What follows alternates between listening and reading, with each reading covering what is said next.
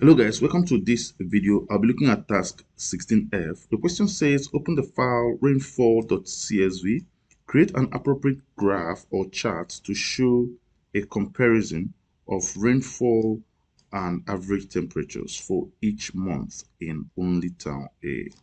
Okay, so first of all, um, let's open rainfall.csv. So I want to go to my chapter 16 folder you want to open room four.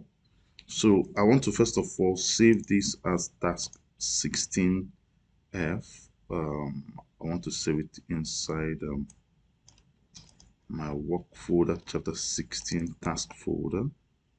I want to save it as workbook.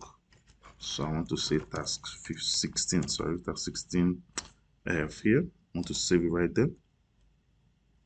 I want to ensure that all my data um, is showing select everything here double click here. So we want to select uh, all the dates and then rainfall for town A. And then hold on our control key you want to select the temperature average temperature for town A also. You want to go to insert. This time around we want to use the combo chart here so that it will allow us to make some a comparison.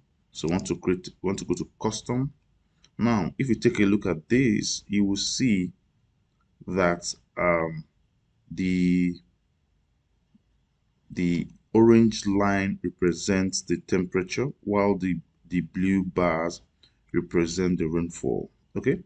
So i think the best uh, chart will be the line chart for both um, for both uh, values. So i'm going to click this um, the next thing I want to do, I want to create a second um, secondary axis for the rainfall. Sorry, the the temperature, the temperature, average temperature. Okay, so as you can see, it will go up and then come down if you compare the values here.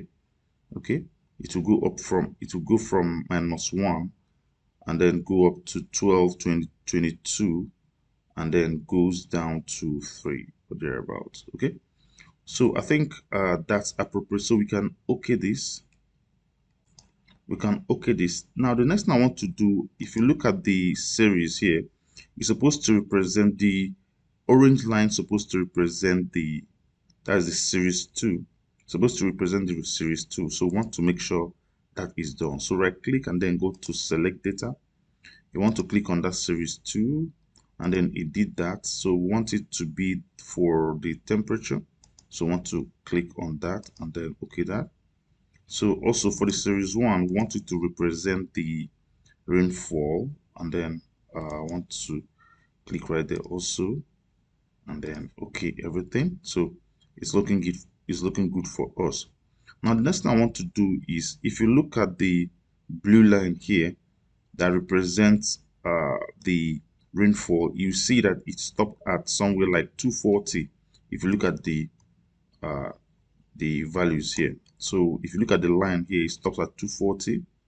Okay, so we want to actually arrange the value at the this axis here. So I want to just double click.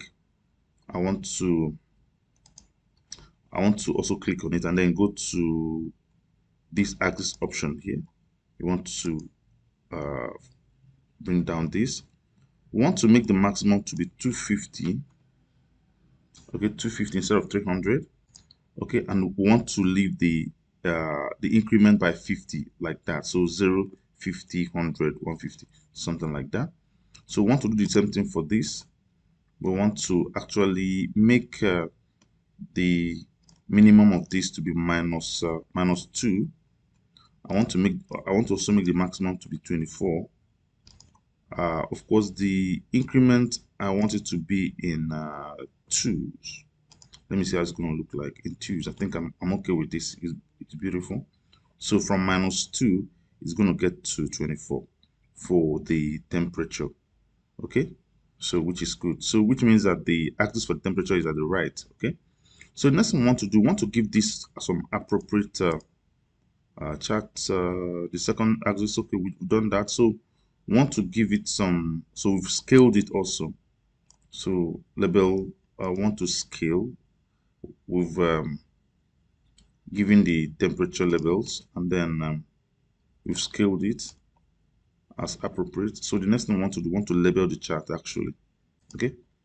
So I want to label the chart. So the title of the chart should be comparison of rainfall and temperature.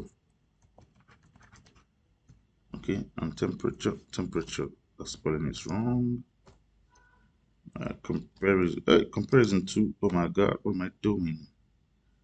Okay of temperature in town a so this is okay this is appropriate. Okay so i want to increase these charts a little further. Okay so i want to have more um, axis so i want to click on this axis. So i want to have this uh, this will be for the rainfall axis. So uh, i want to have a cumulative cumulative rainfall in milli millimeter millimeters. Okay i hope i'm correct with that. Uh the next one will be so this here will be dates just dates down here at the horizontal axis. So i want to have here as average temperature average daily temperature yeah average daily temperature temperature. Am I always putting R or something. Okay so I think uh, that's about it. Mm, what else are, are we forgetting? Let me look at the question again. Uh, add a second value. Okay so everything is done. Uh appropriate. Okay so we're good with that. So that's about it um, so don't forget to save your work as task 16f all right so thank you so much. I will see you in the next one